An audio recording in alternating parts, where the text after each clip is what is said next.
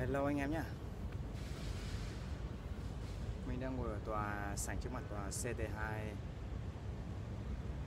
Khu này khu gì? Khu Zebra Hải Phát à? Ờ đúng rồi. Zebra Hải Phát Đường Tô Hữu. Nó có 3 tòa, tòa CT1, CT2, CT3 Đây là cái thảm cỏ này. Khá là mịn. Thảm cỏ này dành cho trẻ con chơi này.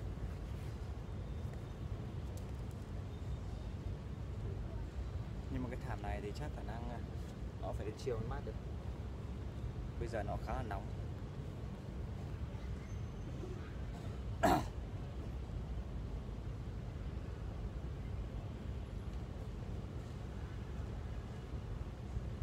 Máy của mình chuẩn hết pin rồi.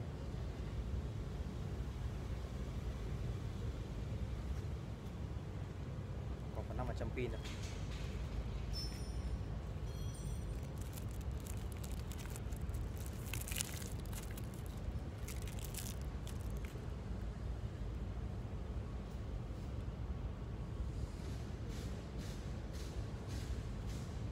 giờ này có vẻ là cũng 3 giờ kém. Giờ này mọi người làm việc cho nên là khuôn viên khá là vắng vẻ.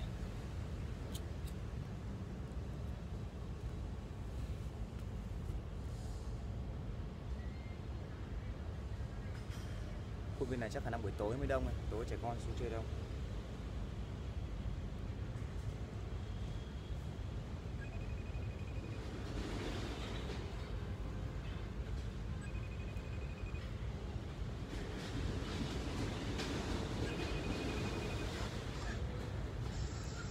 Ngon rồi.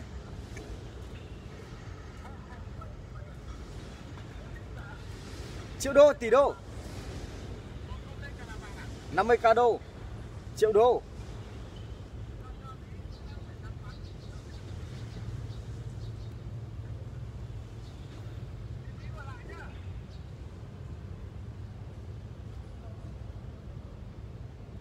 Anh Tùng, anh rất là vui tính.